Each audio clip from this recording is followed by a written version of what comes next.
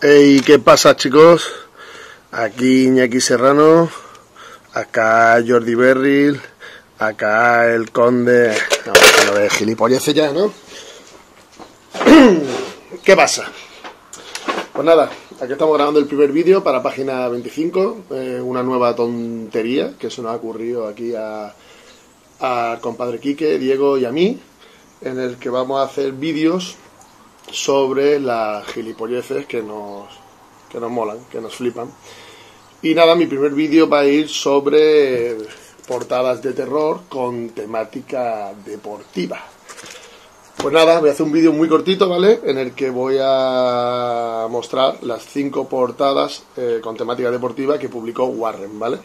Que publicó mi amigo James Warren, creador de revistas míticas como Vampirella, Creepy, Eri y alguna más. Bueno, para empezar voy a mostrar este True Sport, ¿vale? De 1948, eh, americano, eh, para hablar de, la, tradición, ¿no? De, de, de cómic deportivo que existe en América. Eh, hubo un momento en los años 40-50 en los que hubo un boom, boom brutal de cabeceras de deportes eh, he llegado a contabilizar cerca de 70 cabeceras diferentes y estoy seguro que sobrepasan las 100 si me pongo a investigar. Eh, este se publicó en 1948, como, como he dicho. Eh, la publicó Street and Smith, se llamaba la editorial, que es una de las más antiguas de Estados Unidos. Eh, estaban publicando TV ya en 1890, creo recordar. Sí. Bueno, posterior a esto, o sea, los chavales que estuvieron leyendo estos tebeos, ¿no? En los años 40, 50, pues crecieron, lógicamente. Eh, algunos se dedicó a dibujar. Y creo que de ahí viene el, el, tema de, no lo sé, no, o sea, he investigado, pero no he, no, he dado con algo que me diga una entrevista, ¿no? A Nick Cardio, una entrevista a Ken Kelly, que diga, mira, yo hice estas portadas porque de chico consumí este tipo de cómics. Eso no lo llega a leer nunca. A lo mejor a nadie se le ha ocurrido formular la pregunta. Bueno, la cuestión es que Nick Hardy llega a, a DC, ¿no? Y saca portadas. La primera que tengo es de 1973, ¿vale? Es este House of Secrets número 114. Esta es la primera de la que tengo constancia. Igual hay alguna. Eh, agradezco si alguien me la, me la hace llegar.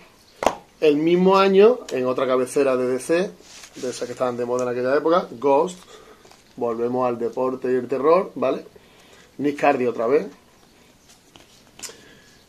Y pasamos ya a la, manteca, la manteca colorada, a lo interesante, que es cuando eh, en 1976, ¿vale? En noviembre, eh, el señor Warren le encarga a Ken Kelly que haga dos portadas, con motivos deportivos, una para Creepy y otra para su revista hermana Eri.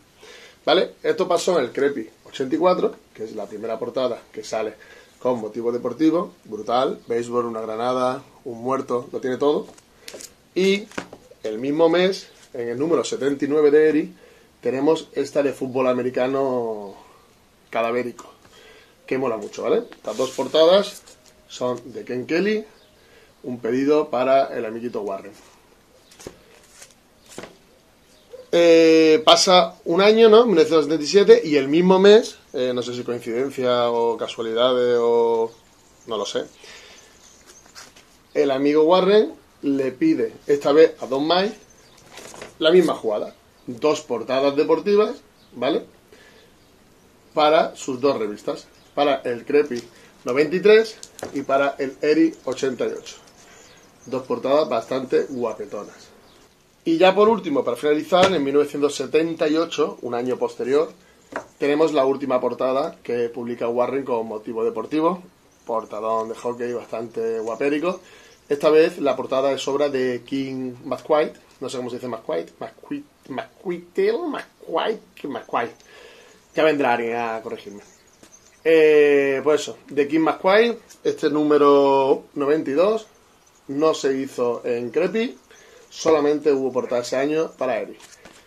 Y hasta ahí llega mi vídeo. Espero que le haya interesado a alguien. Y si no, pues nada. Me he divertido mucho grabándolo. Un saludaco y nos vemos en el próximo vídeo. ¡Hasta luego!